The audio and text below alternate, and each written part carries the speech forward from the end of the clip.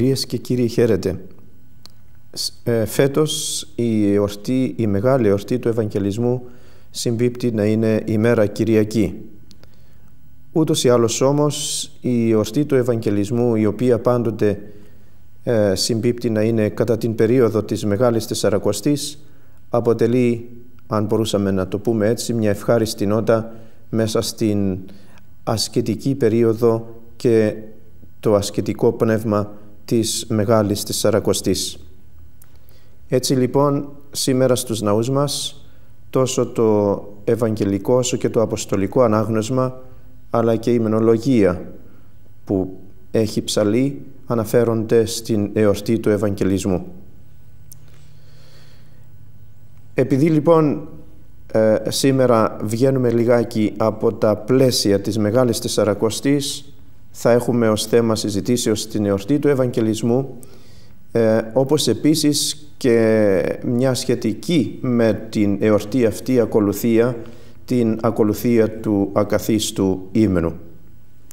Για να συζητήσουμε το νόημα και εορτολογικά τον Ευαγγελισμό αλλά και τον ακάθιστο ύμνο έχουμε μαζί μας τον ε, πατέρα Ιωστίνο ε, ο οποίος είναι πρωτοσύγγελος της Ιεράς Μητροπόλεως Φλωρίνης και τον ξαναείχαμε σε προηγούμενη μας εκπομπή καθώς και τον συνεργάτη μας θεολόγο Γιώργο Κάκορα. Πάτερ Ιωστίνο, ε, και πάλι σας καλωσορίζω πολύ. στην εκπομπή μας και σας ευχαριστούμε και πάλι για την εδώ παρουσία σας Γιώργο και, πάλι, και σε σένα ευχαριστίες.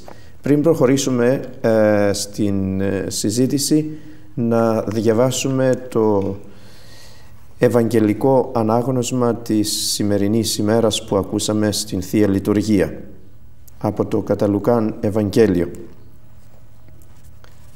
Εν τες ημέρες εκείνες συνέλαβεν Ελισάβετ η γυνή Ζαχαρίου και περιέκρυβεν εαυτήν μήνας πέντε λέγουσα ότι ούτω μη πεποίηκεν ο Κύριος εν ημέρες ες επίδεν αφελήν το όνειδος μου εν ανθρώπης.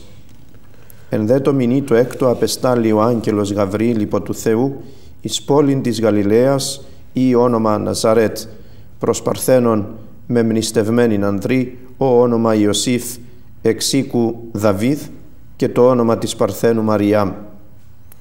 Και εισελθόν ο άγγελος προς αυτήν είπε «Χαίρε και χαριτωμένη ο Κύριος μετά σου, ευλογημένης σύ εν γενεξήν».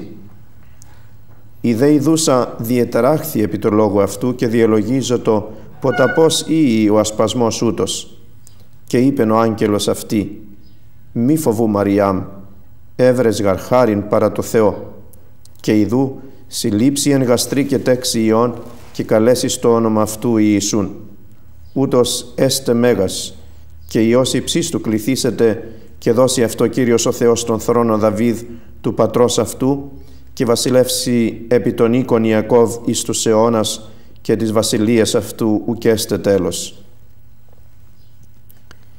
Είπε δε Μαριάμ προς τον άγγελον «Πώς έστε τούτο επί άντρα ου γινώσκο» και αποκριθείς ο άγγελος είπεν αυτή Πνεύμα Άγιον επελεύσετε επί σε και δύναμις υψίστου επισκιάσισι, διό και το γενόμενον εξού Άγιον κληθήσετε Υιός Θεού.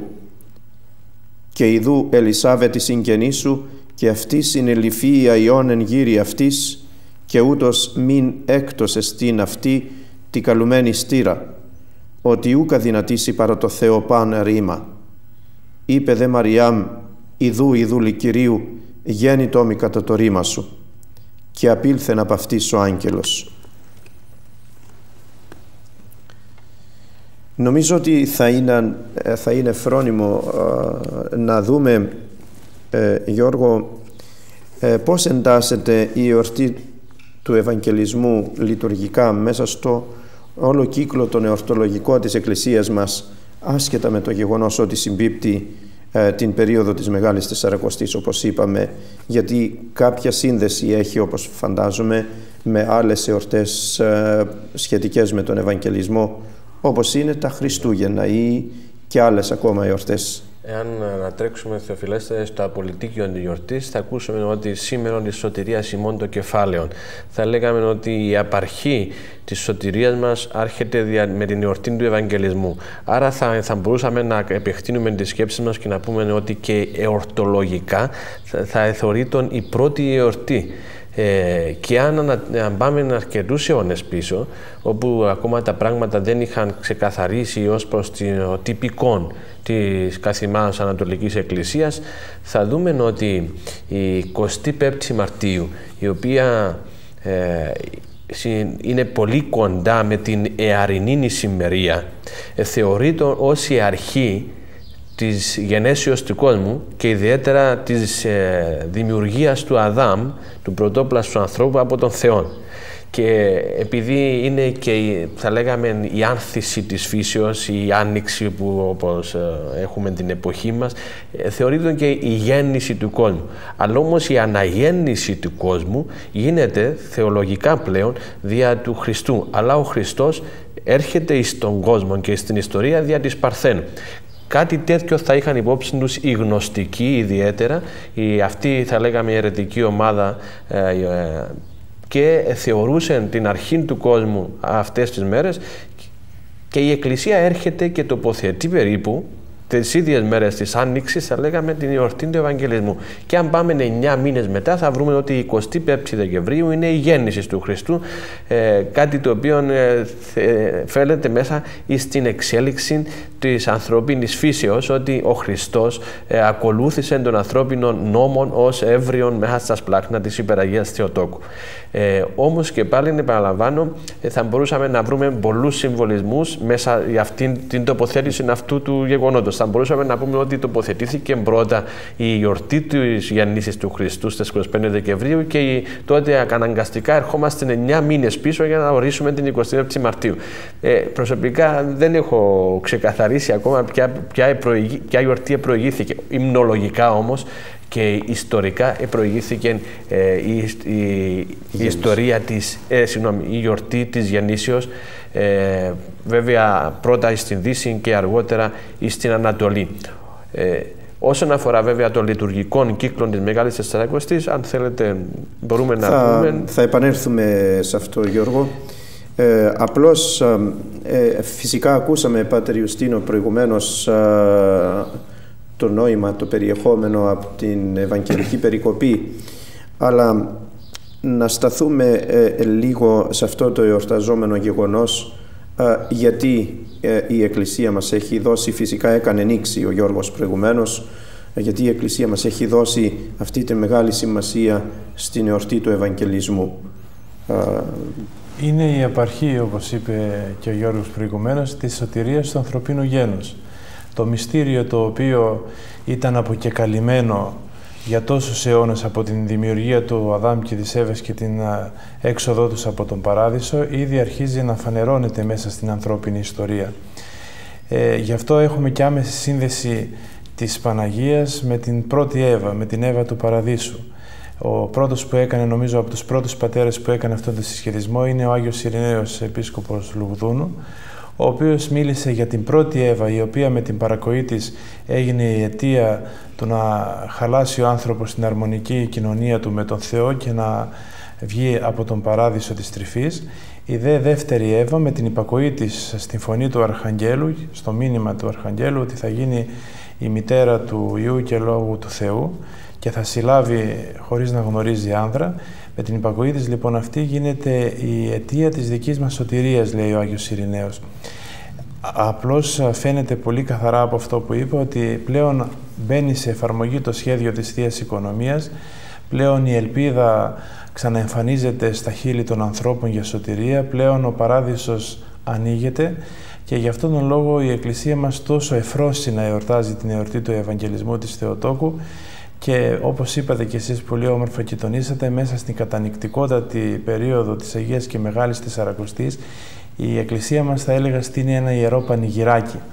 Και αυτό το πανηγυράκι που το στείνει δεν το στείνει χωρίς σκοπό, το στείνει και για να μας ξεκουράσει και λίγο Θεοφιλέστατε, διότι από τον έντονο κόπο και τον έντονο αγώνα οι ψυχές μας σίγουρα θα έχουν αποκάμει και θα θέλουν και μία εορτή. Τοποθετεί λοιπόν μέσα στον, σε αυτήν τη μεγάλη περίοδο της Τεσσαρακοστής την εορτή του Ευαγγελισμού, ώστε με το πανηγύρι να λάβουμε πάλι δύναμη, να χαρούμε, να θυμηθούμε ότι σκοπός της ενανθρωπίσεως του Ιού και Λόγου του Θεού ήταν η δική μας σωτηρία και δια των πρεσβειών της Παναγίας να συνεχίσουμε τον αγώνα μας για να απολαύσουμε το Πανεφρόσινο Πάσχα. Διαβάζοντας την Ευαγγελική Περικοπή α, είχα σταθεί με τη σκέψη μου ε, σε αυτή την αγγελία προς την Θεοτόκο από τον άγγελο τον Γαβριήλ ότι η όση του κληθήσετε και της βασιλείας αυτού και στο τέλος και συνδέω με αυτό που είπε και ο Γιώργος προηγουμένως ότι είναι η αναγέννηση πλέον του ανθρώπου με, την, ε, με τον Ευαγγελισμό. Δηλαδή ουσιαστικά με τον Ευαγγελισμό αρχίζει αυτή η αναγέννηση ε, του ανθρώπου που δεν έχει πλέον ε, το τέλος. φυσικά η ιστορία μας, η ανθρώπινη, θα έχει το τέλος της όμως επειδή η βασιλεία του Θεού, η βασιλεία του Ιησού Χριστού του Ιού του Θεού είναι αιώνια και έτσι από αυτή τη στιγμή ο Θεός εισέρχεται στην ιστορία για να μας οδηγήσει και εμάς σε αυτή την ατελεύτητη βασιλεία του Θεού. Πράγματι, από την εορτή του Ευαγγελισμού ξεκινάει όλο αυτό το σχέδιο το οποίο αναφέρατε. Αυτό το σχέδιο της λυτρώσεώς μας, της εν Χριστώ λυτρώσεώς μας. Αυτό που ανέμεναν οι προφήτες, που ανέμεναν οι δίκαιοι, που ανέμενε ο Ισραηλιτικός λαός για την ενσάρκωση του Μεσσία, για την έλευση του Βασιλέα, αυτό ο οποίος θα έρθει να απαλλάξει τον άνθρωπο από την πτώση και από την φθορά, εφαρμόζεται, βρίσκει την αρχή της εφαρμογής του στο γεγονός του Ευαγγελισμού της Θεοτόκου. Και να τονίσουμε, Θεοφιλέστετε, και να πούμε ότι αυτή η πρόκληση και η πρόσκληση για συμμετοχή στο σχέδιο της Θείας Οικονομίας του Αγγέλου ήταν πάρα πολύ τολμηρή για την Θεοτόκο. Φανταστείτε μία παιδούλα η οποία δεν είχε καν διανοηθεί ότι θα μπορούσε να γίνει αυτή που θα δώσει το σώμα της για να φιλοξενήσει τον Θεό για να, και να τον φιλοξενήσει 9 μήνες όπως είπε ο Γιώργος. Ε, αυτή λοιπόν η παιδούλα βρέθηκε αντιμέτωπη με το άγγελμα του Αγγέλου, ότι θα γίνει μητέρα χωρίς να γνωρίσει άνδρα. Και αυτή είναι η υπεροχή της Θεοτόκου, ότι δέχεται ταπεινά χωρίς να εκλογικεύει μέσα της την πρόκληση του αγγέλου και την πρόσκληση, δέχεται ταπεινά και λέει εγώ θα γίνω, δέχομαι να γίνω η μητέρα και να εφαρμοστεί πάνω μου το σχέδιο της θείας Οικονομίας. Μπορεί να το λέμε τώρα έτσι απλά και να, να, το, να το βιώνουμε έτσι απλούστερα, αλλά φανταστείτε για τη Θεοτόκο τι ήταν αυτό που της είπε ο άγγελος. Να μπει σε ένα σχέδιο το οποίο δεν γνώριζε καλά-καλά και να υποστεί πάνω της όλη αυτή την κατακραυγή των Ιουδαίων που θα γινόταν μητέρα χωρίς να έχει πατέρα το παιδί της. Άλλωστε πολύ σωστά συνδέσατε ε, το πρόσωπο της Θεοτόκου ως ε, νέας Εύας με την πρώτη Εύα γιατί ενώ η πρώτη Εύα έκανε την παρακοή εδώ η υπακοή της Θεοτόκου όπως λένε και οι πατέρες της Εκκλησίας μας αποτελεί ουσιαστικά την υπακοή ολόκληρης της ανθρωπότητας στην έλευση του Θεανθρώπου Χριστού για να οδηγήσει το ανθρώπινο γένος προς τη λύτρωσή του. Είναι η συνεργία του ανθρωπίνου γένους στην βούληση, την προαιώνιον βούληση του Θεού, όπως ψάλλουμε και στους ύμνους της ημέρας, ε, το να σώσει τον κόσμο.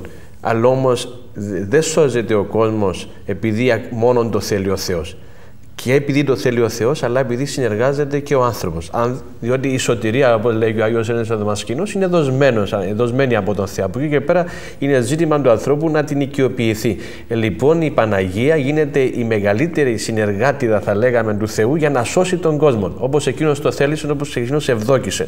Και ακριβώς εδώ είναι η ευδοκία του Θεού, και το πλήρωμα του χρόνου που λέει και ο Απόστολος Παύλος αλλά και όλη η θεολογία η Ορθόδοξη μιλώντας για το πλήρωμα του χρόνου ε, ε, συμπυκνώνεται στο πρόσωπο της υπεραγίας Θεοτόκου που φτάνονταν μέχρι το σημείο οι πατέρες να λένε ότι αν δεν γεννιόταν η Παρθένος Θεοτόκος Μαρίας δεν θα εσαρκώνεται ο λόγος του Θεού, αλλά θα ανέμενε, θα λέγαμε, ο Θεός Πατέρας, πότε θα βρισκόταν ή η Θεοτόκος Μαρία, η, η Θεοτόκος τέλος πάντων η γυναίκα του ανθρωπίνου γένους, για να μπορέσει να σαρκώσει κατά το δικό της βέβαια, κατά τη βούληση του Θεού και το θέλημα του ανθρώπινου, των ιών και λόγων του Θεού και να έρθει η σωτηρία στο ανθρώπινο γένος. Γι' αυτό, Θεοφιλέ, θα μου επιτρέπετε ακόμα λίγο να. Ε, Εμείς οι Ορθόδοξοι απορούμε καμιά φορά, να, να μου επιτρέψετε να πω, ιδιαίτερα με τους Προτεστάντες που δεν αποδέχονται ε, το, την ιερότητα του προσώπου της Θεοτόκου ε, ως Θεοτόκον ή ω ως αϊπάρθενον κλπ. Και τους βλέπουμε να γιορτάζουν πανηγυρικά και κατακόρον τη γέννηση του Χριστού και θα λέγαμε ως ένα σημείο καλά κάνουν οι άνθρωποι αλλά όμως πώς μπορεί να γιορτάσεις τη γέννηση του Χριστού όταν δεν μπορεί να γιορτάσεις τον Ευαγγελισμό; Που είναι η αρχή της σωτηρίας μας. Γιατί αν το μυστήριο της γέννησης του Χριστού, ότι ένα, ε, που είναι το κενότερο μυστήριο υπό τον ήλιο, όπως λένε οι πατέρες, ένας Θεός να γίνει άνθρωπος, πώς γίνεται τέλος πάντων αυτός ο Θεός άνθρωπος; Δια της Θεοτόκου. Το όργανο της συνανθρωπίσεως είναι η Θεοτόκος. Άρα ουσιαστικά το μυστήριο της γέννησης του Χριστού θα πρέπει να το αναζητήσουμε πρώτα-πρώτα στο μυστήριο της σάρκωσης του Λόγου του Θεού και Ιού του Θεού, το μονογενή, ο οποίος μονογενής πλέον γιος του Θεού γίνεται και μονογενής γιος της Παρθένου.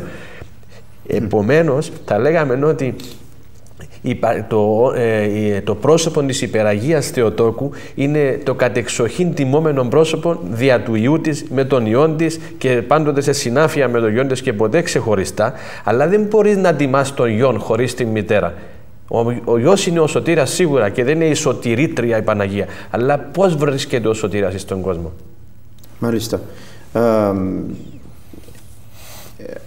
επειδή ε, άλλωστε η γιορτή αυτή Γιώργο της Θεοτόκου είναι συγχρόνως θα λέγαμε και δεσποτική και θεομετωρική γιορτή, η γιορτή του Ευαγγελισμού. θα περάσουμε όμως στην άλλη όψη της συζητήσεως να δούμε λίγο ε, εορτολογικά γιατί η Εκκλησία μας συνηθίζει αυτές τις μεγάλες εορτές είτε να έχει και πριν από την ε, κυριώνυμο ημέρα να ψάλει ύμνους που αναφέρονται στην ορτή είτε και μετά. Ε, σε αυτή την, ειδικά την ορτή του Ευαγγελισμού έχουμε μια διαφορετική διάταξη για να πλαισιώσει την εορτή του Ευαγγελισμού ε, Πάτερ Ιουστίνο με τον ακάθιστο ύμνο ή ακόμα και τους χαιρετισμούς. Να δούμε λοιπόν πώς η Εκκλησία μας οικονόμησε μέσα σε αυτή την ασκητική περίοδο της Μεγάλης Τεσσαρακοστής να τιμήσουμε και το μεγάλο γεγονός της εορτής του Ευαγγελισμού.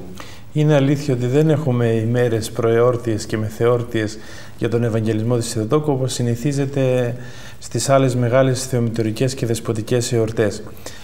Ε, η Εκκλησία αυτό το έκανε διότι η περίοδος της Αγίας και Μεγάλης Τεσσαρακοστής είναι όπως είπαμε κατανικτική και δεν χωρούν πανηγυρική ύμνη. Αλλά εφήβρε ένα άλλο σύστημα που νομίζω ότι κάπως καλύπτει αυτήν ακριβώς την έλλειψη και είναι οι χαιρετισμοί της Υπεραγίας Θεοτόκου όπως και ο Ακάστηθης στο Σύμνος που διαβάζει την τελευταία, ε, το τελευταίο Σάββατο λίγο πριν την, Αγία, την Κουφή Εβδομάδα.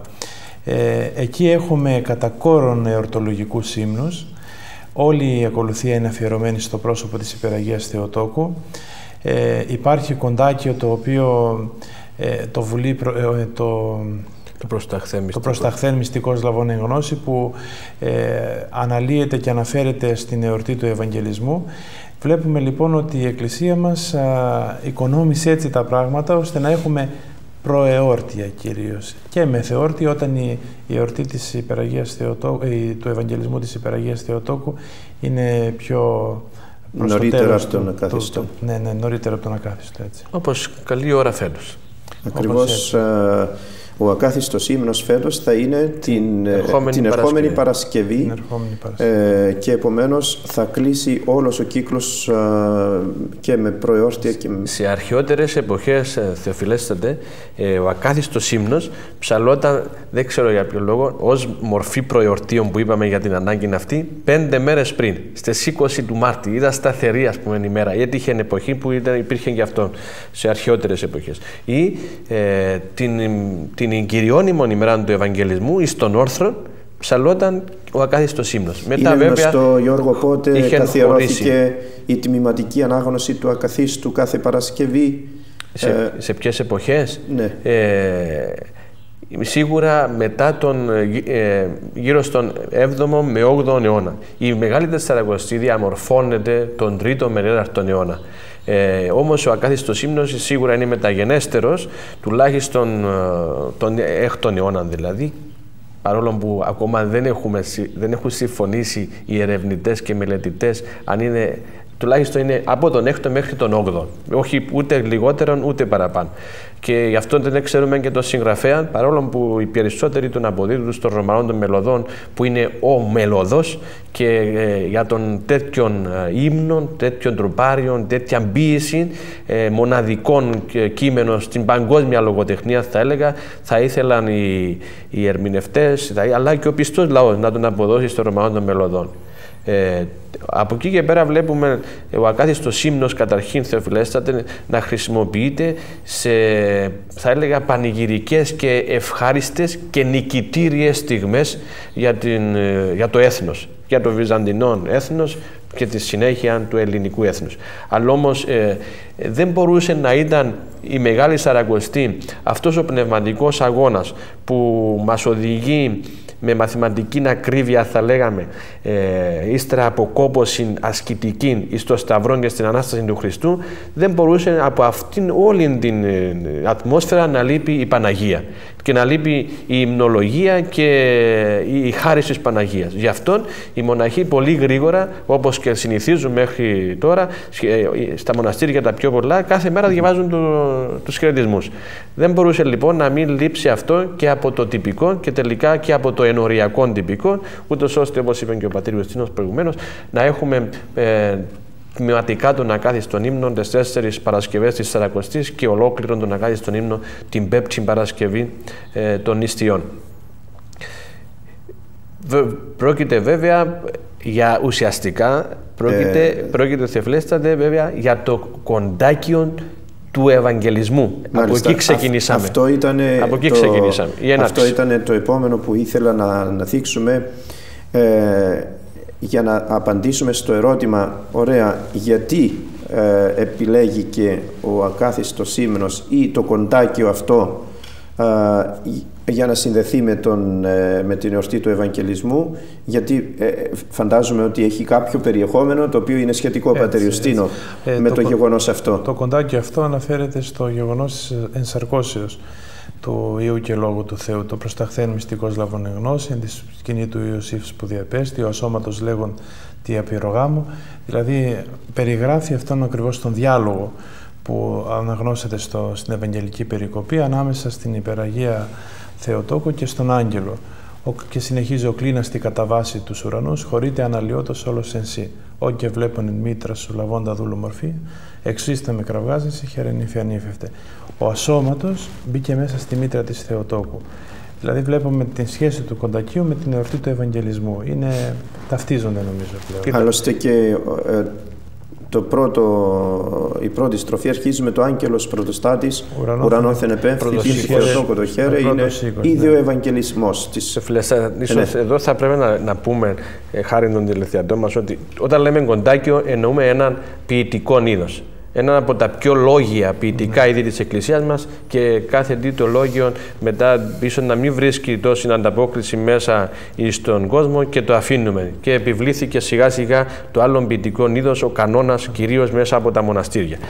Το κοντάκιο λοιπόν αυτών των μεγάλων ε, ποιητικών είδος αποτελείται από πολλά πράγματα. Το, ο ύμνος που είπαμε προηγουμένως ο Πατήρ Ιουστίνος είναι το προήμιον, η εισαγωγή. Και στο προήμιον γίνεται ουσιαστικά μια ε, προεισαγωγή του θέματος ή αν θέλετε μια ανακεφαλαίωση το τι, το τι θα ακολουθήσει. Ε, το τι ακολουθεί στον ακάθιστον ύμνο είναι αυτό, το γεγονός της σάρκωσης του Λόγου του Θεού, του Ευαγγελισμός, η σωτηρία των ανθρώπων. Έτσι λοιπόν... Ε, και ο ρόλος που διαδραματίζει η Θεοτόκος. Κατεξοχήν το πρόσωπο της υπεραγίας Θεοτόκου. Γι' αυτόν τον λόγο μετά το κοντάκιο έχει ε, οίκους. Ε, αν είναι ένα οικοδόμημα, έχουμε πολλά δωμάτια. Θα λέγαμε έχουμε πολλά σπίτια για να οικοδομηθεί αυτό το ποιητικό είδος. Και έχουμε στο συγκεκριμένο κοντάκιο του Εκαθίστου Ήμνου 24 οίκους.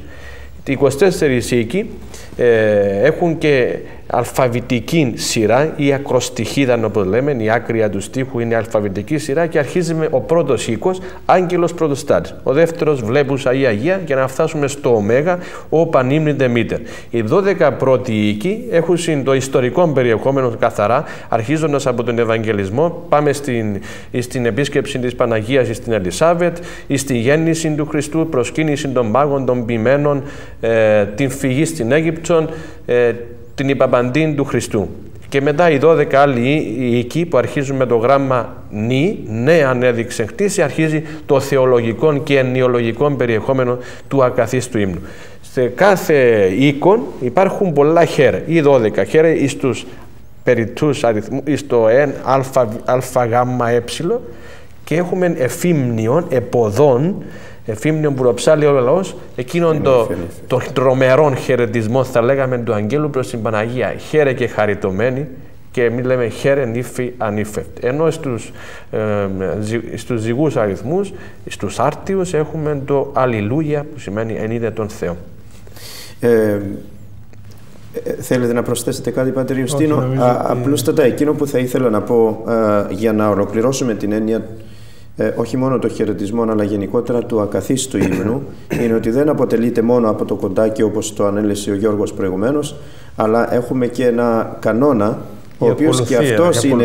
Ε, η ακολουθία του το ακαθίστου ύμνου των χαιρετισμών ναι. αποτελείται από τον κανόνα, το ανοίξω το στόμα μου, που έχει εννέα οδές, παραλείπεται πάντα η δεύτερη, επειδή είναι πένθυμος οδή, ε, και από τον κοντάκιο με τους οίκους τους 24 οίκους αυτή και την ακολουθία του μικρού αποδείπνου. Δηλαδή μέσα στην ακολουθία των χαιρετισμών έχουμε την ακολουθία του μικρού αποδείπνου, έχουμε τον κανόνα το ανοίξω το στόμα μου, έχουμε και το κοντάκιο το προσταχθέν.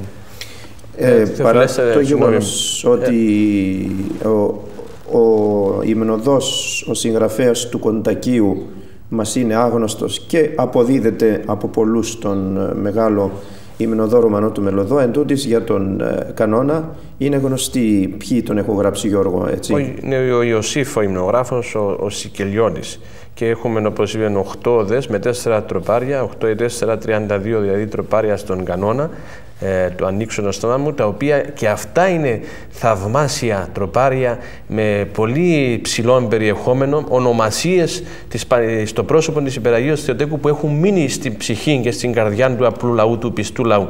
Ε, ο οποίος ε, μπορεί να μην καταλαβαίνει πολλά τα θεολογικά μηνύματα, αλλά όμως συλλαμβάνει εκείνα τα μηνύματα της σωτηρίας, ότι η Παναγία είναι η μητέρα του Θεού και η Παναγία είναι η μεσήτρια και η μητέρα όλων των ανθρώπων. Ίσως Εφελέστατη όμως να λέγαμε εδώ κάτι που αφήσαμε πίσω από τη λειτουργικής πλευρά. Ε, όπως είπαμε, η Σαρακοστή Πανηγύρια δεν χωρεί. Ε, ο ακάθιστος ύμνος είναι Σάββατο που ψάλεται. Και ουσιαστικά και οι Παρασκευές τα βράδια ανήκουν λειτουργικά στο Σάββατα. Ναι. Γι' αυτό είναι το, ε, το, το ακαθίστου ύμνου είναι το Σάββατο του ακαθίστου ύμνου της πέμπτης εβδομάδας των νηστείων, ο οποίος τελείται το πρωί. Αν θα τελεστεί το πρωί του Σαββάτου, όπως τελείται στα μοναστήρια μαζί με τον όρθρο και συνεχίζει βέβαια η λειτουργία του Αγιάννου του Χρυσοστόμου ή όπως τελείται σε εμάς ή στον κόσμο όπως λέμε ε, αποβραδής για να τον παρακολουθήσει πιο πολλοί κόσμος που είναι πολύ λαοφιλής ε, η ακολουθία αυτή ε, μαζί με το μικρό απόδειπνο.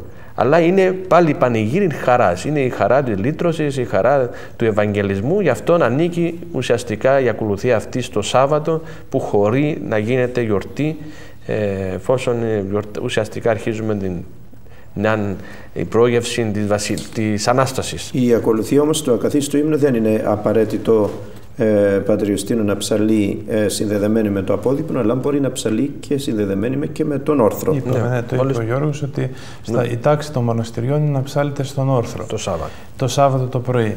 Ε, φυσικά έχει επικρατήσει συνορίες μας για πρακτικούς λόγους ναι. να είναι συνδεδεμένη με την ακολουθία του μικρού αποδείπνου αλλά η κανονική της θέση είναι μέσα στον όρθρο, διότι είναι κανόνας που προβλέπεται από τον όρθρο και η διάταξη του κανόνος. Ε, θα, θα ήθελα όμως να επιστρέψουμε λίγο στο περιεχόμενο του ακαθίστου ύμνου. Ίσως ακόμα και την ονομασία μπορούσαμε να ναι. εξηγήσουμε ιστορικά Ακριβώς, πώς έχει γίνει ναι. αυτό το πράγμα. Ναι Γιώργο, πες αυτό το ιστορικό. Ε, ε, Ξεκι... Όπως, όπως είπαμε, όπως είπαμε είναι με, ε, και με την ιστορία του έθνους, του μας. Βέβαια έχουμε ήδη ε, ξεκαθαρίσει ότι ο ακάθιστος ύμνος είναι κοντάκιο του Ευαγγελισμού της Θεοτόκου. Ε, τώρα, το σημερινό προήμιον του ακαθίστου ύμνου, το πρώτο τροπάριο, είναι το γνωστό σε όλους και λαοφιλές τροπάριο, το ότι υπερμάχο στρατηγό τα νικητήρια. Αυτό συνδέεται με την ιστορία του Βυζαντινού κράτους, των ε, Βυζαντινών προγόνων μας και Ρωμιών, ότι το 626 μετά Χριστόν, τον Αύγουστον κιόλας, 7 προς 8 Αυγούστου, οι Άβαροι πολιορκούν την Κωνσταντινούπολη. Ο αυτοκράτορας ο Εράκλειος λείπει στην εκστρατεία κατά των Περσών για να επιστρέψει τον Τίμιο Σταυρόν όπως πιστεύουμε πίσω εκεί που ανήκε και βρίσκουν ανοχήρωτη την πόλη, επιτίθενται ο Πατριάρχης Σέργιος τότε ο οποίος είναι ένας από τους υποψήφιους θα λέγαμε θεωρούμενους συγγραφείς του ακαθίστου ύμνου, μαζεύει τον λαό, προσεύχονται, τον στηρίζει, ε, ε, κάνουν λιτανία με τα εικονίσματα της ε, Παναγίας και σε λίγο το άλλων πρωινών της 8 Αυγούστου βλέπουν τα καράβια των εχθρών κατεστραμμένα. Αποδίδεται η νίκη αυτή στην Παναγία, σπέβδουν όλοι στην Παναγία των Βλαχερνών, όπου ψένουν τον ακάθιστον ύμνο, ο οποίος δεν λεγόταν μέχρι τότε ακάθιστος ύμνος, αλλά λεγόταν κοντάκιο του Ευαγγελισμού. Επειδή συνηθιζόταν εξέρθου εις τους οίκους των κοντακίων, επειδή ήταν μακρύ εκεί, να κάθονται οι πιστοί στα προηγούμενα άλλα κοντάκια, σε αυτόν θεώρησαν καλόν χάρη της σωτηρίας τους από την, ε, την υπέρμαχο στρατηγών την Παναγία να, την, να ψάλουν τους οίκους αυτούς του συγκεκριμένου όρθι, ορθοστάδινας, ορθάδι. Και έτσι από τότε, επειδή τον έψαλον όρθι, ακάθιστη έμεινε η ονομασία ακάθιστο ύμνος και σιγά σιγά το Βουλήν Προϊόνιων έμεινε μόνο για, για την 25η Μαρτίου Συγγνώμη, το προσταχθέν, το προσταχθέν, το προσταχθέν έμεινε για τις 25 του Μάρτη και για όλες τους άλλους χαιρετισμούς εμπήκε το προήμιο το, που έμεινε και ως γνωστόν πλέον ως κοντάκιον το ότι υπερμάχος στρατηγό τα νικητήρια. Ναι. Βλέπουμε ότι και ιστορικά δηλαδή δεν ανήκει στον κύκλο της, του Μαρτίου ε, ας πούμε ε, η ονομασία του ακαθίστου ύμνου αλλά είναι κάπου στο καλοκαίρι, στον Αύγουστο. Όμως μπαίνει για αυτούς τους προηγουμένους πρακτικούς λειτουργικούς σκοπούς που έχουμε αναφέρει. Ε, προηγουμένως ο, ο Γιώργος Πατριουστίνου ανεφέρθηκε ε, συνοπτικά στην θεολογία ε, του ακαθίστου ύμνου και πράγματι αν διαβάσουμε ε, τους οίκους θα διακρίνουμε αυτό που είπε ο Γιώργος ότι πρώτη, το πρώτο μέρος, πρώτοι 12 αναφέρονται στο μυστήριο της ασαρκώσεως στα ιστορικά γεγονότα και μετά αρχίζει το θεολογικό. Θα ήθελα έτσι λίγο σε αυτό το θεολογικό για να δούμε και τον υμνοδό, τον συγγραφέα του Κοντακίου του Ακαθίστου ως θεολόγο. Ε, γιατί πράγματι ε, είναι ένας βαθύς θεολόγος ο, ο συγγραφέας. Οι, οι οίκοι οι οποίοι έχουν θεολογικό περιεχόμενο ξεκινούν από το γράμμα νη και αναφέρεται ο οίκος του γράμματος νη νέα έδειξε κτήση, εμφανίσα ο κτίστης, ημίν της υπ' αυτού γενομένης. Ομιλεί για μία νέα κτήση, την οποία εμφάνισε ο κτίστης. Αμέσως ο νους μας πάει για την πρώτη κτήση, η οποία πρώτη κτήση ήταν ο Παράδεισος, τότε που τοποθετήθηκε ο Αδάμ και η Εύα για να απολαμβάνουν τον Παράδεισο της τρυφής και την κοινωνία τους με τον Θεό. Και αυτόν τον πρώτο, την πρώτη κτήση την έκτισε αυτός ο οποίος είναι κτίστης και θα κυοφορηθεί και κυοφορείται μέσα στα σπλάχνα της υπεραγίας Θεοτόκου. Ανακεφαλαιώνει δηλαδή αμέσως με τον πρώτο ήδη ε, οίκο, ο υμνογράφος, το σχέδιο της θείας Οικονομίας. Επανέρχεται πάλι στην αρχή ολοκλήρου του κόσμου για να τονίσει και να πει ότι αυτή η κτήση που δια της αμαρτίας και δια της ανυπακοής των πρωτοπλάστων εξέπεσε από το αρχαίο κάλος, πλέον με την έλευση του κτίστου και πάλι στο προσκήνιο της ιστορίας ανακαινίζεται, ανανεώνεται και δίδεται πάλι και στην κτήση και στα δημιουργήματα η δυνατότητα της ε, επανελεύσεώς του στο αρχαίο κάλος. Ε, κατανοούμε λοιπόν ότι ήδη από τον πρώτο οίκο δίδει τα, την ταυτότητά του ο υμνογράφος, ότι πλέον θα ασχοληθεί με βαθύτατα θεολογικά ζητήματα. Και στους υπόλοιπους 12 οίκους παρατηρούμε έντονα αυτό το θεολογικό ύφος και τη θεολογική χρειά ε, των οίκων ασχολείται με την σωτηρία, πώς η Παναγία γίνεται μέσο για να έλθει ο λυτρωτής και να σωθεί ολόκληρος ο κόσμος και αργότερα λίγο αργότερα στους οίκους, παίρνει συγκεκριμένες ομάδες, παίρνει τους Παρθένους, παίρνει ανθρώπους οι οποίοι ασχολούνται και αγαπούν τη σωτηρία τους και λέγει ότι για κάθε, ένα, για κάθε μια από αυτές τις ανθρώπινες ομάδες η Παναγία έγινε και στήλος, έγινε και φωτοδόχος λαμπάδα, η οποία καθοδηγεί στο φως, που δεν είναι άλλο το φως από το πρόσωπο του Ιού και Θεού της. Είναι αυτό που ε, προκαλεί και εντύπωση η τυπολογική γλώσσα και η εικονική γλώσσα που χρησιμοποιεί ο ύμνοδος ε, με τους διάφορους παραλληλισμούς της Θεοτόκου με εικόνες της Παλαιάς Διαθήκης, Γιώργο. Και παραλληλισμούς με την Παλαιά Διαθήκη, προτυπώσεις αλλά και αντιθέσεις, μεταξύ των, ε, ας θα έλεγα, των φιλοσόφων, των αρχαίων φιλοσόφων, της πολυθεΐας, της ιδεολατρίας κλπ. Ε, ο Άγιος Ιωάννης όταν μας γνωρίζετε, θεβλέστατε, ότι λέει ότι το όνομα Θεοτόκος άπαν το, το μυστήριο το, ε, στο πρόσωπο δηλαδή της Παναγίας όλων των μυστήριων συνίσταται.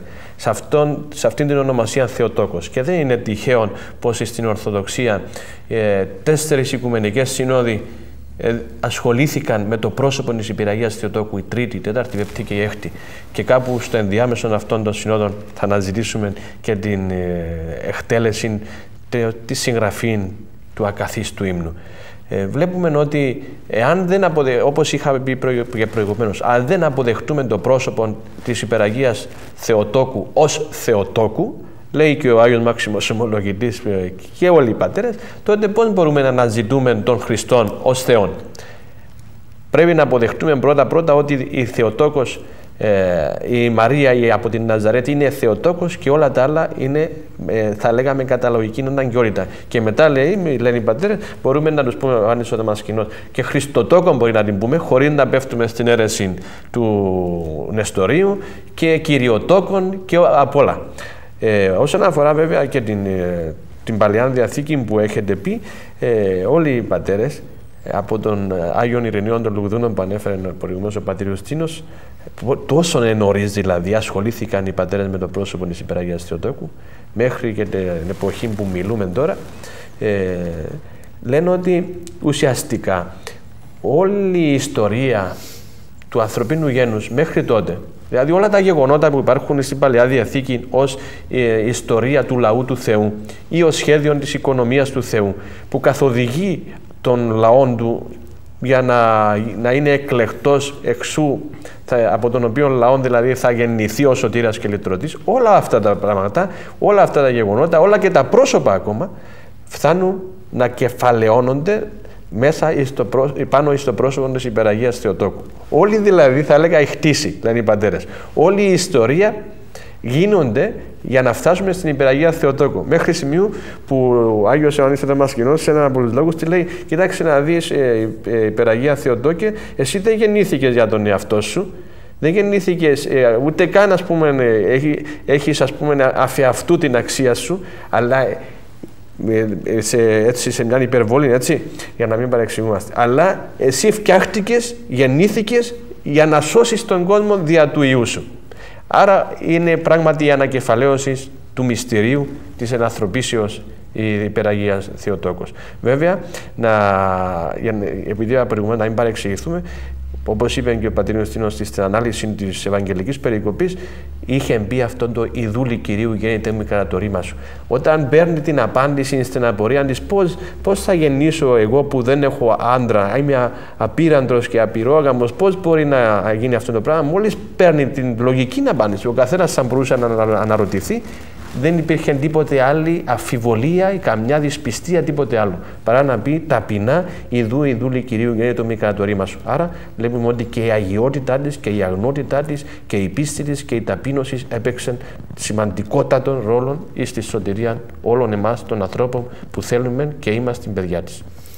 Ε, επειδή ο Γιώργος μας επανέφερε, Πάτερ Ιωστίνο, στην Ευαγγελική Περικοπή, ε, θα ήθελα και εγώ να επανέλθω λιγάκι για να το δούμε αυτό το σχέδιο της σωτηρίας όπως το αποκαλύπτει ο άγγελος προς την ε, Θεοτόκο αναφέροντάς της μάλιστα και ένα άλλο γεγονός ότι ειδού η Ελισάβετ η συγγενή σου ε, είναι και αυτή έγκυος που θεωρεί το στήρα δηλαδή όλο αυτό φανερώνει ε, την προετοιμασία που ο Θεός κάνει για να υποδεχθεί η ανθρωπότητα τον λυτρωτή Χριστό. Βλέπουμε ένα τέλειο σχέδιο το οποίο προαιώνων το είχε επεξεργαστεί ο Θεός για τη σωτηρία του ανθρωπίνου γένους να θέλει την εφαρμογή του από τη συγκατάβαση ενός προσώπου, της Υπεραγίας Θεοτόκου.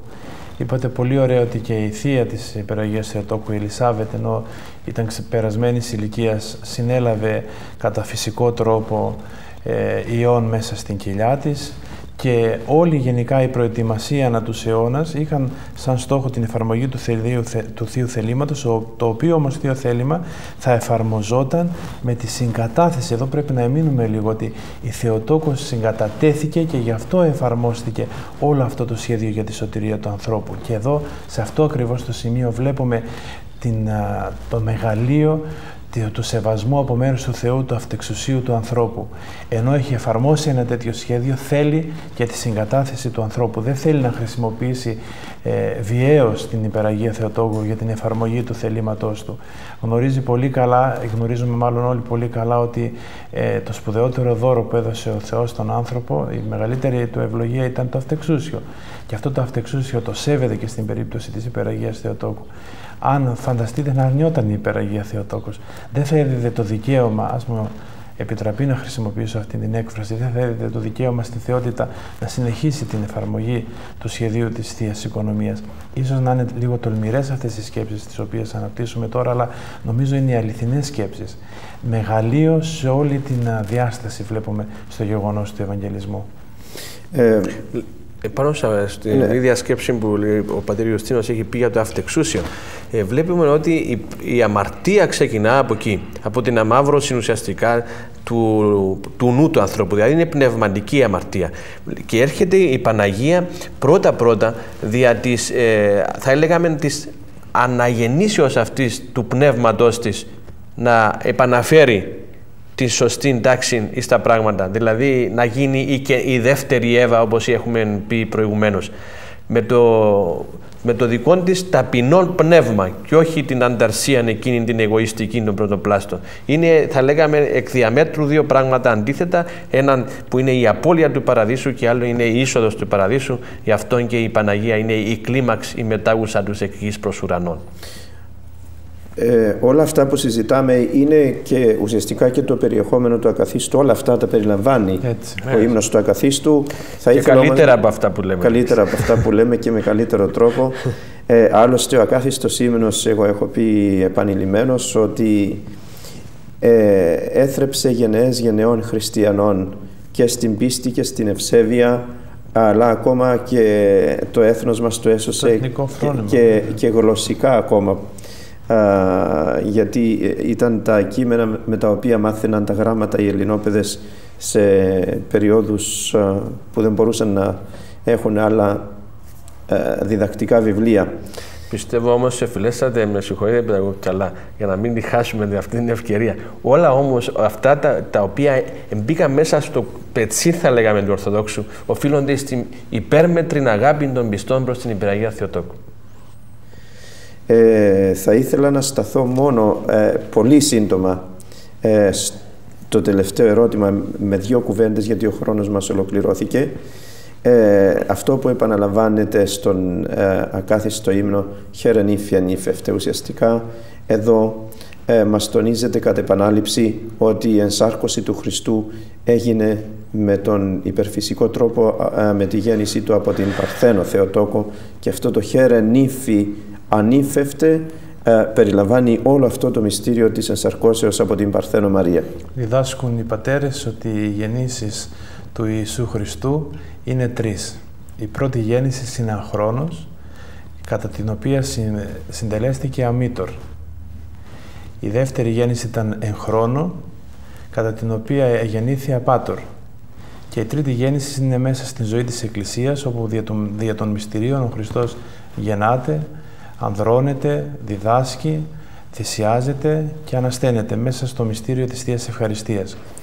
Με το χέρι νύμφια νύμφευτε λοιπόν έχουμε τη συμπίκνωση όλων αυτών των υψηλών δογματικών νοημάτων.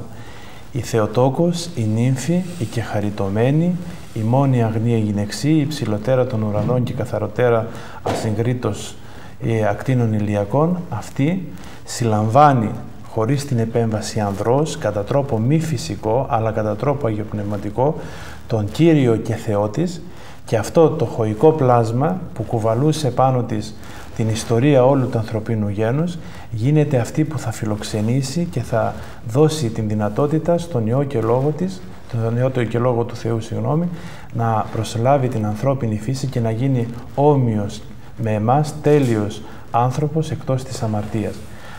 Μέσα λοιπόν σε αυτό το εφήμνιο, στο χέρι νύμφη ανήμευτε, συμπυκνώνεται όλη αυτή η υψηλή θεολογία, όλο το σχέδιο της θείας Οικονομίας. Και γι' αυτό νομίζω είναι τόσο γλυκό μέσα στο στόμα μας και πολλές φορές μπορεί ο απλός λαός να μην μπορεί να κατανοήσει λογικά όλα αυτά τα οποία είπαμε προηγουμένως, αλλά σίγουρα γεωπνευματικά και καρδιακά τα κατανοεί και τα βιώνει μέσα στην καρδιά του, γι' αυτό και αγαπάει τόσο πολύ την ακολουθία των χαιρετισμών. Μόνο τα τελευταία λόγια ναι. του ακαθή, το, το τελευταίο νίκο. «Ο πανύμνητε μήτερ η τεκούσα των πάντων Αγίων Αγιότατων Λόγων δεξαμένη την νυν προσφοράν από πάσης ρίσες συμφοράς άπαντας». Και ακόμα συνεχίζει και τις μελούς λύτρωσε κολάσιος. Τους σύρβου όντας αλληλούια. Δύο στοιχεία λοιπόν. Ότι είναι έναν ανεπανάληπτο πρόσωπο για την Εκκλησία, για την, για τη σωτηρία του ανθρωπίνου γένους, αλλά και της καθημερινής μας ζωής. Είναι η μάνα μας. Αυτό πρέπει να το, ε, το ζούμε, δεν χρειάζεται να το καταλάβουμε, δεν χρειάζεται να το ψάξουμε. Η πρώτη μας λέξη που έρχεται στο στόμα μας είναι η Παναγία. Μάλιστα. Η οποία ταυτίζεται με την μάνα. Λέμε πάντα στις δυσκολίες μας μάνα και Παναγία. Ίσως γιατί έχουμε ταυτίσει μέσα μας την μάνα σαν Παναγία και την Παναγία μάνα. Ναι. Μάλιστα, επειδή γέννησε τον Ιησού Χριστό και αναγέννησε τη φύση, είναι και η μάνα μας. ευχαριστώ πολύ, Πάτερ Ιωστίνε Γιώργο, για αυτή την συζήτηση.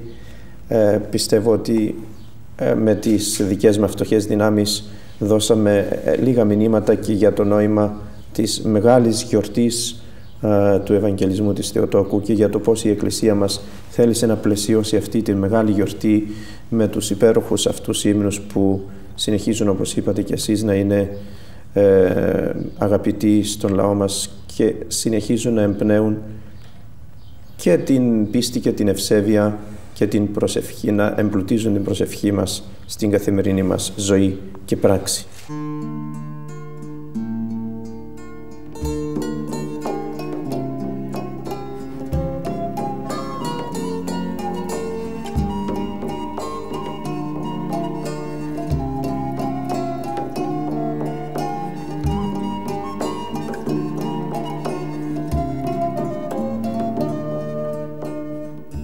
Σάρκωση του Θεού αποτελεί ύψιστη δωρεά προς τον άνθρωπο και θεμέλιο σωτηρίας.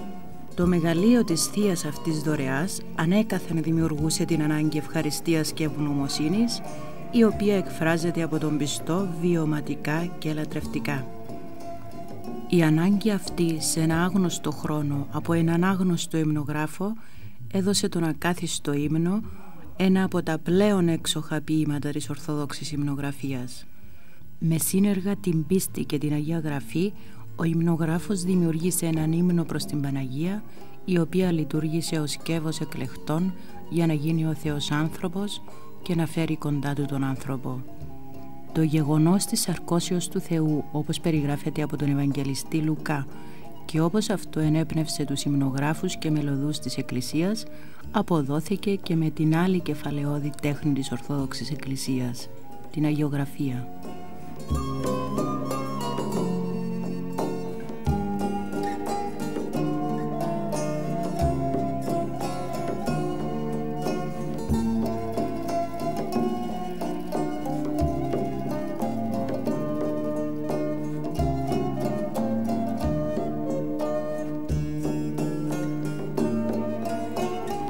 Σταθερά, σχεδόν πάντα ο Ευαγγελισμός συναντάται στα βημόθυρα του Ιερού Βήματος. Στο εικονοστάσι επίσης με τον Ευαγγελισμό άρχεται η σειρά των εικόνων του Δεκαόρτου. Η απεικόνηση του Ευαγγελισμού τηρεί ευλαβώς όσα μπορούν να ερμηνευθούν από το αντίστοιχο Ευαγγέλιο και ό,τι αρμόζει στην Ορθόδοξη παράδοση.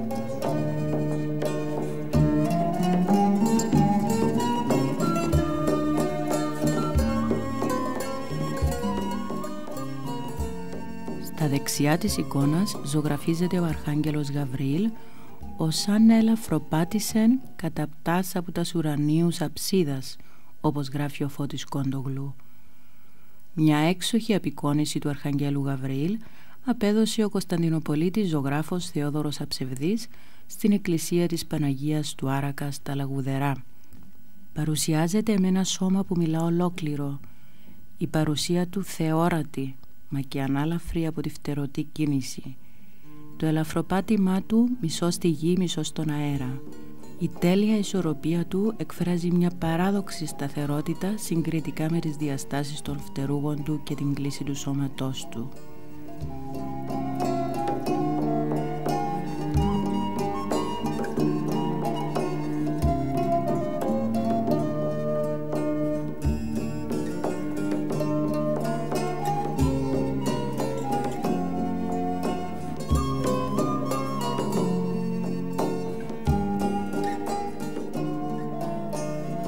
Ίσως να φαντάζει παράδοξο γιατί οι άγγελοι, οι ουράνιες δυνάμεις όπως αποκαλούνται, απεικονίζονται με ανθρώπινο σώμα που φέρει φτερά.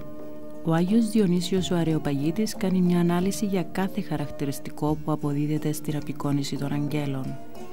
Τα βλέφαρα και τα φρύδια δεικνύουν τη φρούρηση των θεοπτικών νοήσεων. Η νεανικότητα εκφράζει τη συνεχή επακμάζουσα ζωτική δύναμη. Οι ώμοι και τα χέρια συμβολίζουν το ποιητικό και δραστήριο της φύσης τους και τα πόδια τη θεία πορευτική αϊκινησία. Τα φτερά δεικνύουν την ουράνια τους διάσταση, η δεράβδος που κρατούν την ηγετική αρχηγική τους υπόσταση. Τα μαλλιά των αγγέλων αποδίδονται σκουρόχρωμα σγουρά δεμένα με μια ταινία που τα άκρα της ανεμίζουν μέσα στο χώρο του Φουροστέφανου. Ο Άγιος Σημειών Θεσσαλονίκης εξηγεί το περί των κροτάφων μανδύλιων ως σύμβολο της καθαρότητας του νου, εξού και είναι τυλιγμένο γύρω από το κεφάλι. Συμβολίζει επίσης την νοητή σύνδεση με το Θεό. Οι ελεύθερες άκρες της ταινίας εκφράζουν τη σύνδεση με τα εγκόσμια, όπου οι άγγελοι προσέχουν και προστατεύουν τους ανθρώπους. Ο Άγιος Σημειών ερμηνεύει επίσης τα δεμένα μαλλιά των αγγέλων, δεμένα τηρούνται κοντά στο μυαλό, στο νου, στο Θεό. Συνεπώς εξηγεί, οι άγγελοι δεν κινούνται για τα ποικίλα και περιτά, αλλά για τα θεία και αναγκαία.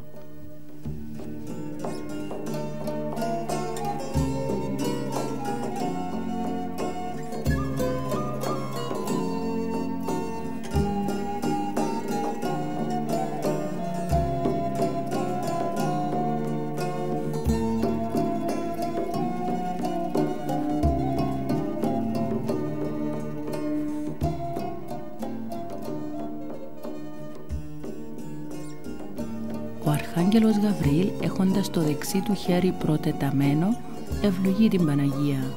Είναι η άλλη έκφραση του «Χαίρε και χαριτωμένη ο Κύριος μετασού, ευλογημένη σύ εν γυναιξήν».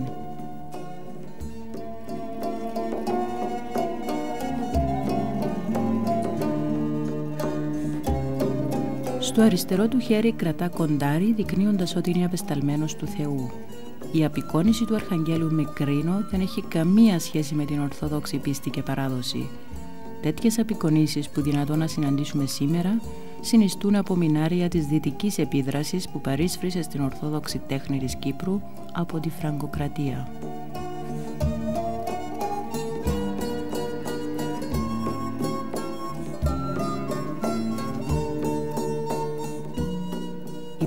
Παναγία αποδίδεται όπως ορίζουν οι κανόνες της Εκκλησίας. Ταπεινή, ασχημάτιστος, σεμνή. Χαρακτηριστικά που εκφράζονται όχι μόνο από το πρόσωπο αλλά και από το σώμα. Συνεσταλμένη γράφει ο Κόντογλου με σχήμα όπου φανερώνει φρονιμάδα και ταπείνωσιν. Κάθεται εις εν χαμηλόν θρονή με την κεφαλήν κλείνουσαν ευσχημόνος. τυλιγμένη ευπρεπώς στο μαφόριον αυτής, από το οποίο εξέρχονται μόνο τα χέρια της, το μεν δεξιόν ανοιχτοπάλαμον, ισχύμαν παρακλητικών. Στον κατάγραφο καθεδρικό ναό του Αγίου Ιωάννη, ο ζωγράφος που επί Αρχιεπισκόπου Φιλοθέου στο τέλος του 1ου Τρίτου του 18ου αιώνα ιστόρισε ολόκληρο σχεδόν τον κυρίως ναό, παρατηρούμε ότι απέδωσε κατά το πλήστον ορθόδοξα την εικόνα του Ευαγγελισμού. Στην όλη σύνθεση, ο Αγιογράφος κατέβαλε προσπάθεια να αποδώσει και το τριαδικό ορθόδοξο δόγμα, όπως αυτό φαίνεται ξεκάθαρα στα λόγια του Γαβριήλ «Πνεύμα Άγιον επελεύσετε πισέ και δύναμης υψίστου επισκιάσιση, διό και το γενόμενον Άγιον κληθήσετε Υιός Θεού». Έτσι ζωγράφισε το Άγιο Πνεύμα εν είδη περιστεράς και τον πατέρα ως νεφέλη φωτός, εικόνα εμφανώς δανεισμένη από αυτή της βαπτίσεως.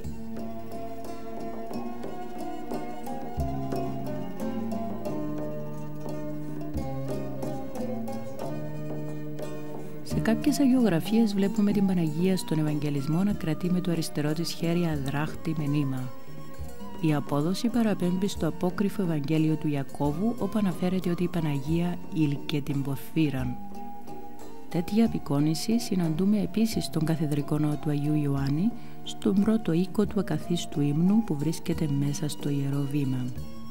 Ο αγιογράφος που ιστόρισε τον ακάθιστο ύμνο είναι προγενέστερος αυτού που ζωγράφισε τον Κυρίως Ναό, εντονότερες και οι επιδράσεις από τη Δύση, στους τρεις πρώτους οίκους, οι οποίοι θεολογικά στηρίζονται στο Ευαγγελικό Εδάφιο για τον Ευαγγελισμό, οι απεικονίσεις εμπεριέχουν δυτικά στοιχεία. Στο πρόσωπο της Παναγίας στην εικόνα του Ευαγγελισμού αποδίδεται τόσο ο στίχος «Η δε ειδούσα διαταράχθη επί το λόγο αυτού και διελογίζεται ο ποταπός ή βασπασμός ούτως», όσο και ο τελικός της λόγος «Ιδού η δούλη Κυρίου γέννη τόμη κατά το ρήμα σου». Λόγια που κατά τους πατέρες εκφράζουν πρώτα ταπεινότητα με το άκουσμα του Ευαγγελίου, ύστερα σοφροσύνη αφού εν πλήρη συνειδήσει διαρωτά το ποια έννοια είχε το Ευαγγελικό μήνυμα και τέλος υποταγή στο Θεό με την αποδοχή του θελήματός Του. Η στάση δε αυτή είναι που την κατέστησε άξια να γεννήσει Θεό και να γίνει Θεοτόκος. Η αποδοχή της Παναγίας ως Θεοτόκου συνιστά και αποδοχή του Χριστού ως Θεού. Η όλη Ορθόδοξη Θεολογία, όπως διαμορφώθηκε μέσα από οικουμενικές συνόδους, διασαφηνίζει πως η πίστη ότι ο Χριστός είναι αληθινός Θεός περνά μέσα από την αναγνώριση της Παναγίας ως Θεοτόκου. Σε τούτο τον όρο τονίζει ο Άγιος Ιωάννης ο Δαμασκηνός, εμπερικλείεται όλο το μυστήριο της οικονομίας του Θεού.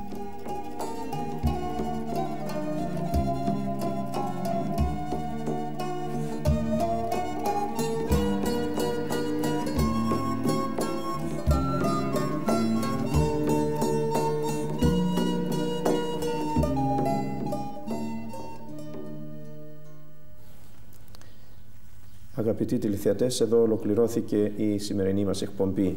Ευχαριστούμε που είσαστε μαζί μας και πάλι μαζί την ερχόμενη Κυριακή την ίδια ώρα.